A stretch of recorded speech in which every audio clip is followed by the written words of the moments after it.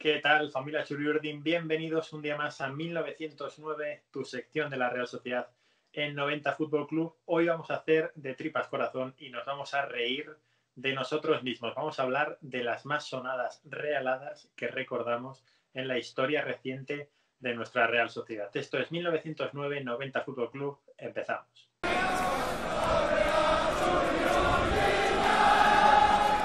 Lo dicho, no hay nada mejor que reírse de uno mismo, que aprender a hacerlo. Así que vamos a, explicaros primero de todo qué es una realada. Yo lo he buscado en Google, lo estáis viendo y los resultados no valen. No valen para absolutamente nada. Así que, Sansi, te voy a dar la palabra para que me expliques, por favor, qué es una realada. Para el que no sepa, para el que no ande en Twitter, que ahí se sabe de sobra, yo he tenido que buscar el diccionario y en según la RAE define realada como situación que sufre la Real Sociedad en la que teniendo grandes probabilidades de lograr algo positivo, se trunca de forma repentina o sorprendente por error propio o desgracia. Ahí está. Principalmente error propio, habitualmente, pero bueno, hay muchas de ellas. Eh, las hemos dividido en tres secciones, la Copa, la Liga y las competiciones europeas, porque son menos, pero también las hay de aquella manera. Entonces vamos a empezar con la Copa del Rey, que lo primero que tenemos que explicar es que, claro, ahora la Real es finalista de la Copa del Rey, pero hace no tanto a la Copa del Rey le llamamos la Copa del Rey, entre otras cosas, porque ir a Zamora y fallar todos los penaltis en la tanda de penaltis, más dos en el partido, estar una hora con uno más contra la segunda B, llegar a los penaltis, eliminarte, ir a Andúba, que ahora sí es un sitio de culto para la historia de la Real, pero ir a Andúba y que el Mirandés de segunda vez te eliminen penaltis, eso era típico en la Real. Entonces, bueno, pues esos son solo dos ejemplos que pasaron con la Real. Sí, la, Copa del Rey, o como te gusta llamarle, la Copa del Rey, o nos gustaba llamarle, ahí es donde se ha forjado, se ha forjado la leyenda de las Realadas, ¿no? Y aparte de esas que has comentado, que son pues míticas, pues tenemos otros años, pues del ascenso en Anoeta contra una Almería, un equipo ando a clasificación baja, pues que íbamos 2-0 en el descanso ganando en Anoeta y nos remontan así rápidamente, tres goles ni más ni menos en 45 minutos. La siguiente.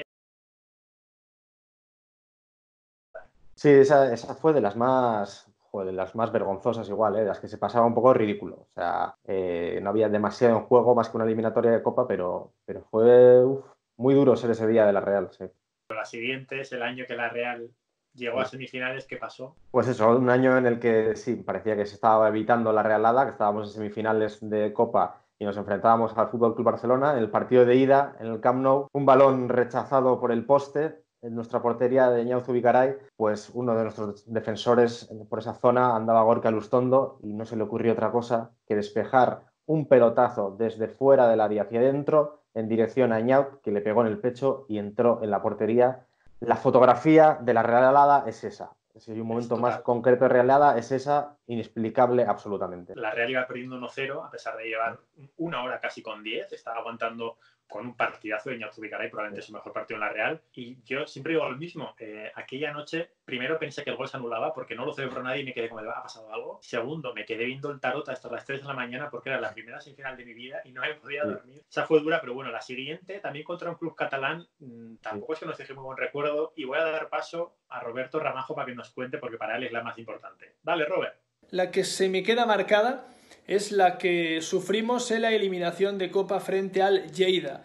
Y lo digo así porque es que ver la imagen de Juanmi Jiménez hablando con Canales, diciéndole que con ese resultado nos servía para pasar de ronda, eso sí que es una realada de las que no se me van a olvidar nunca. Encima eh, me tocó narrar ese partido en Carrusel y os puedo decir que la experiencia no se olvida nunca, porque narrar una eliminación de tu equipo y de esa forma duele mucho. En fin, para mí esa es la relada que no se me va a olvidar nunca, esa imagen de Juanmi y Canales tras recibir el gol que nos eliminaba, diciendo que eso nos podía servir para pasar. Eso es muy de la Real, es muy realada. Un saludo, Agur. Y bueno, igual que Ramajo, él estaba arriba y yo peor, estaba abajo, a pie de campo, con un frío que no os podéis hacer una idea, diluviaba a Noeta y me acuerdo que en el descanso con el 2-0 que marcó Juanmi me dijo Leire Barrio Canal, mi compañera, me dijo, ah, esto ya está hecho. dije, Leire, espérate, que metan un gol pronto, la liamos. Metió en el 2-1, me miró y yo, espérate. Minuto siguiente, penalti creo que de Toño, 2-2 del Lleida. Y el 2-3 del Lleida es de las más heavies que recuerdo, porque son 45 minutos contra equipo de segunda D con un 3-0 agregado y encima ya la imagen que titula, que es el título de este rótulo que habéis visto, pasan ellos Sí, Juan, sí, con el 2-3 pasan ellos. Sí, nuestro querido Juanmi, que le tuvimos mucho cariño, pero en ese día, pues, ¿eh?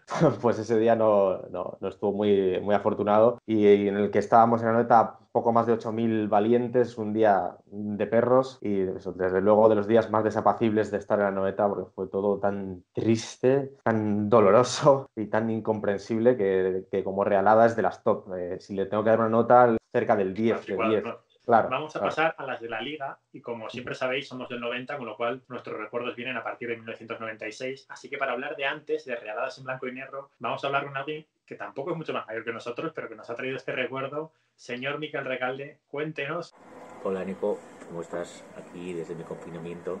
Bueno, yo no estoy muy de acuerdo con el término realadas, ¿eh? es más, me pone un poco nervioso. O sea, ¿qué pensarán los demás equipos que no han ganado nunca a lo largo de su historia? ¿no? Yo sigo defendiendo que la Real, eh, al margen de los gigantes, es un club ganador.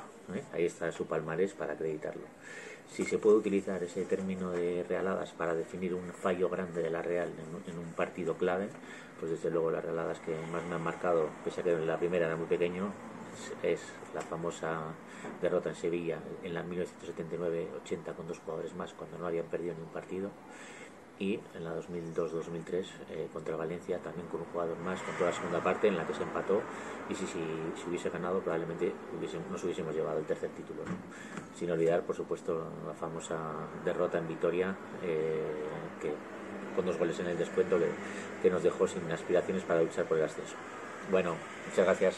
Un abrazo para que veáis que esto está tan metido en la historia de la Real que incluso la mejor generación de la historia, la que ganó dos ligas, tuvo su propia realada en el 79-80, pero bueno, la que tú y yo recordamos es la que dice Recal después, la de, la de Valencia. Eh, es que nunca olvidaré a Anthony Rebellier. Mm, el tiro iba al córner y vimos hace poco el resumen ¿no? en, en YouTube que está puesto, el tiro va al córner, Igor Jauregui la, la, la, desvía y Xavi Alonso dice lo que todos pensamos. Sí, sí, en ese vídeo de Nasaria Altura que comentas que subí a YouTube eh, se oye perfectamente los improperios de Xavi contra el pobre Jauregui, pero era lo que todos pensamos, efectivamente, un partido que teníamos para ganar y que era muy importante y por otro infortunio de esos que solo le pasan a la Real, pues, pues no, no sacamos los tres puntos. Sí, era una liga que la Real todavía creemos que la tenía que haber ganado, ¿no? Porque quizás la afición se divida en dos, ¿no? Los que creen que se pierde contra el Valencia aquel día o los que creen que se pierde contra el Villarreal un par de meses antes cuando te empatan un 2-0 en el descuento. Porque la Real va ganando 2-0 con Villarreal de mitad de tabla. Me acuerdo ver subir a Pepe Reina al córner y pensar, pero ¿este dónde va?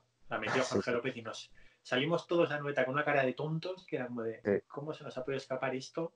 Pero es, que incluso aquella temporada, ¿no? Porque me, vas a contar ahora lo de Vigo. Es verdad, el Celta era un buen equipo, pero es que también se juntó todo para la Real. Sí, porque hasta en las mejores temporadas ha habido realadas, como lo que dices de Villarreal, que incluía hasta polémica arbitral por ese descuento exagerado y ese gol fuera de tiempo. Y en Vigo, pues eh, fue realada puramente futbolística, nos ganó eh, el Celta, que se jugaba mucho, pero era la oportunidad más importante de, los, las últimas décadas de conseguir algo muy grande como una liga y pues en el momento más inadecuado pincha la Real y comete una auténtica realada.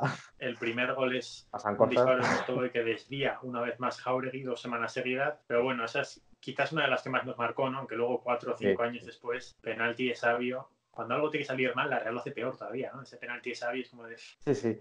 Pasamos de, Realada intentando conseguir algo increíble a intentando evitar algo tristísimo. Y, un sabio que nos estaba dando muchísimas alegrías y que estaba dirigiéndose en El Salvador de esa temporada tenía la oportunidad para rematar la, machada y ser héroe en Donosti y no. Y falló y, y nos vinimos abajo y todo se fue al traste. estaba escrito, pero tampoco en segunda nos quedamos sin ellas, ¿eh? porque no, no, claro. también otra que, recuerda Ramajo, le vamos a dar paso ahora para que recuerde otra parte, y va a abrir un capítulo especial, el capítulo Vitoria.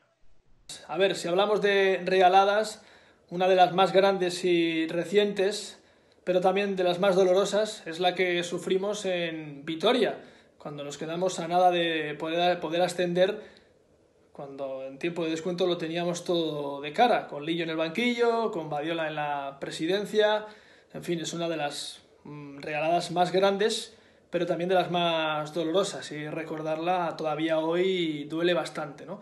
Bueno, en Vitoria, pues lo que como comentaba Roberto Ramajo, eh, hemos tenido varias y, la del primer año en segunda fue, fue muy dura también, porque era la penúltima jornada, teníamos a tiro eh, ascender a primera, y cuando íbamos 2-1 eh, ganando los últimos minutos, incluso teniendo una oportunidad clarísima de Víctor Casadesús con 30 metros solo frente al portero, se la pone, se la entrega al cuerpo, pues cuando quedaban poquísimos minutos, una a la vez que se jugaba no bajar a segunda B, pues remonta, mete dos goles, incluyendo el tiempo de descuento, y ahí sí que recuerdo, yo lo recuerdo como uno de los días más tristes de, la historia de, nuestra, de nuestra afición como realista, porque podía haber marcado mucho el, futuro de la Real en ese momento, porque era un ascenso casi asegurado a, no se sabía qué. Sí, era un ascenso o una posible desaparición, porque la Real tenía problemas económicos. O sea, fue muy dura. Me acuerdo, hablábamos ayer, ¿no? Tú y yo fuera de micro, de es cuando estábamos en selectividad. No me dejaron ir a Vitoria porque tenía que estudiar. ¿Te crees tú que estudié aquel día algo? Pues efectivamente, ah, nada. Ese día se acabó. en Vitoria, el año siguiente sí, también en vez para bajar a segunda B, también la Real para subir nos adelantamos con gol de Abreu y sin darnos cuenta de nada en la portería del fondo, además, no vimos nada, dos goles del Alavés. También lo mismo, Vitoria tiene un, tiene un algo especial contra la Real, está muy bien que esté en primera, pero es que a la Real no se le da bien Vitoria, o sea, es como un capítulo especial y vamos a dar paso a otro capítulo más especial y más random todavía, porque ahora la Real está en primera y el Hércules mm. está en segunda B, para bajar a tercera además, pero bueno, vamos a dar paso a Adrián Meloki para que nos recuerde una que quizás se nos había olvidado. ¿Qué pasa, Aitor? ¿Qué pasa, Eneco? Eh, bueno, yo voy a apostar por una realada de esas underground. Como estoy seguro de que el Elustondazo en el Camp Nou o el mítico partido de Mallorca ya habrán salido, voy a apostar por un Hércules Real Sociedad del año del ascenso 2009-2010. La Real llega totalmente enchufada Rico Pérez, líder. Nada, 5-1, eh, eh, repasazo histórico de, de un Hércules donde Tote parecía Lionel Messi. Y, a casa, calentitos a casa. Aparte, para colmo, con golito de Andrilla de Libasic, triste protagonista de, otra realada ilustre, de la de Mendizorroza. Así que nada, me quedo con aquella, chicos. Un abrazo. Y como decía Adri, ese 5-1, una mañana de domingo, me acuerdo que lo daba el Plus, marcó Antoine Grisman, también. La Real iba de líder, estaba muy bien en segunda, una realada. Sí, sí, ya hemos dicho que hasta en las mejores temporadas no nos libramos de la realada y ese día, pues incomprensiblemente, nos meten un 5-1 así como quien no quiere la cosa.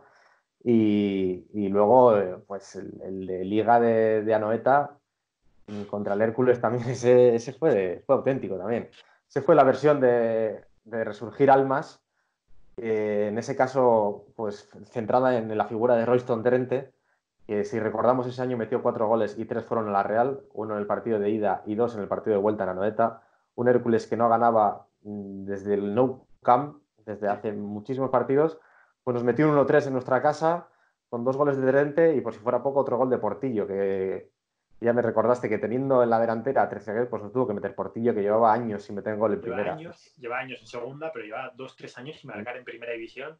Esa tarde de domingo la recuerdo durísima del Hércules y ya completamos el hat-trick del Hércules, primer año en segunda división, la Real va al Rico Pérez, no puede jugar con la primera equipación como es lógico, no, puede jugar con la segunda entera, tiene que jugar con la, con la negra y gris, con pantalón blanco y al descanso el actor les dice, no, no, cambiaros, que es que no os identifico bien. Y la Real sale a la segunda parte con otra camiseta completamente diferente. Es otra versión muy rara, incluida. La podemos sumar a cuando jugamos en Montjuic con la camiseta del español, ¿no? Otra realada un poco rara aquella, ¿no? Pero bueno, creo que ahí ya, solo con esto ya cerramos el capítulo de la liga, ¿no? Creo que no nos dejamos ninguna. Y si nos dejamos alguna, volveremos, porque... Sí, hombre. Hay muchos tipos, muchas vertientes de realadas. Efectivamente, y vamos a adentrarnos en la competición europea, porque es verdad que caer en Old Trafford no es una realada, pero caer como cayó la realada en Old Trafford un poco sí. Sí, sí, sí. Pues teníamos una ilusión tremenda en esa competición y el partido que más ilusionaba era ese partido en Old Trafford, donde fueron, acudimos 6.000 personas a, ver a la Real esperando pues eso, disfrutar y, el disfrute se acabó pronto, ¿no? Antes del minuto 10, cuando estábamos todos animando, pues nos metimos un gol propia y ahí se acabó el partido prácticamente. La alegría nos duró bien poco ahí, Porque si ese día en, en Old Trafford, eh, que teníamos tanta ilusión, pues se nos fue muy poco tiempo, años después volvimos a Europa. Es verdad que precedidos de una mini realada como que ese séptimo puesto de la temporada anterior cuando teníamos todas las de ganar un, quinto puesto, pues ya empezó con una doble previa de, Europa League en el que la primera pasamos sufriendo, la segunda nos tocó un Krasnodar, que entre comillas decíamos el temible porque parecía bastante asequible. En Anoeta nos pusimos 1-0 en el partido de ida y íbamos a la vuelta tranquilos, teóricamente.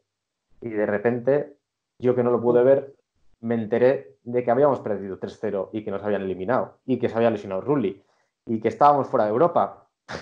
Sí, debutó Rulli, eh, debutó Rulli, hizo un partidazo, mantuvo la puerta cero, se rompió un dedo del pie, no de la mano, en un, en un córner que fue a despejar para completar la realada, ¿no? Porque es que a las realadas hay que echarle ingredientes. Entonces, te vas a Rusia, bueno, un poco mal. En agosto, ña, vienes de perder en Ipurúa, mal. Debuta el portero, hace bien, bueno, quitamos realada. Pero se rompe el pie, perfecto hace un penalti absurdo de la Bella y acabas perdiendo 3-0 contra una banda de mataos, porque la sensación de la Verdini y del Krasnodar de la Noeta eran de malos, pero malos de solemnidad, realada asegurada 100%. Y antes hablábamos de lo de equipo aspirina, que es la Real. Mayor aspirina que Leverkusen no hay.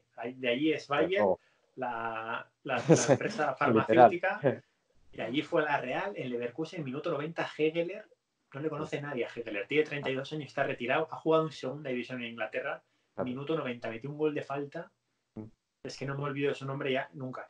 Hegel, el 13 del Bayern Leverkusen, parecía Michael Ballack. Haciendo homenaje ¿no? a, la, aspirina, pues fuimos allá a hacer homenaje. Ahí metimos el único gol, pero, pero no, tuvimos que compensarlo para mal de otra forma. Sí, sí, sí, totalmente. ¿Y qué nos queda de Europa League? Pues de Europa, pues, Europa League. Sí, la última participación en Europa de la Real fue Salzburgo, en el que la trayectoria era relativamente buena en esa, en esa temporada en Europa y llegó Salzburgo, un equipo intermedio de Europa, vamos a decir, con ilusión para, para, eliminarle y pues ya ese día de vuelta se reafirmó lo que empezó a, temerse en la ida cuando nos metieron ese gol en el descuento para hacer el 2-2 y en la vuelta pues nos pasó de todo. Nos pasó la realada versión desgracia, lesiones, goles de, fallos de todo tipo y, con la cara de tonto que te deja una realada pues te, te vas de Europa otra vez. Sí, porque a Manchester fueron 5.000, creo que a Salzburgo fueron 2.500 se lesionó Prieto antes, no estaba William José tampoco por lesión.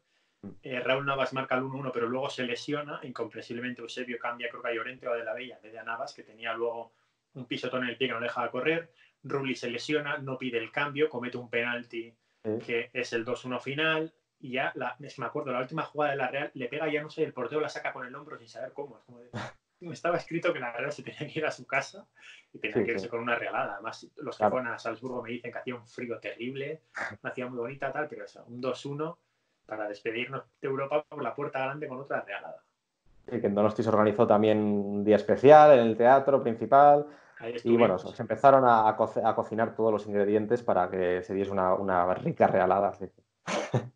Esto ha sido todo. Este es el primer vídeo que os va a recordar las realadas, quizás las más sonadas. No las queremos ordenar de más a, de más a menos porque para cada uno una realada es más especial, porque te marca más o porque tú estabas o porque, bueno, aquí hemos estado en un Parsa, sí, por cierto. Igual tenemos alguna culpa. Pero bueno, eh, os leemos en comentarios. Si nos hemos olvidado alguna, decídnoslo, porque probablemente haya segunda parte, que esto es muy gracioso. No somos gafes, no queremos más realadas, pero lo cierto es que lo mejor que podemos hacer para que no duela es reírte de tu propia desgracia para eso somos los mejores. Esto ha sido 1909. Like, subscribe, comentarios, seguidnos en redes. Agur. Agur.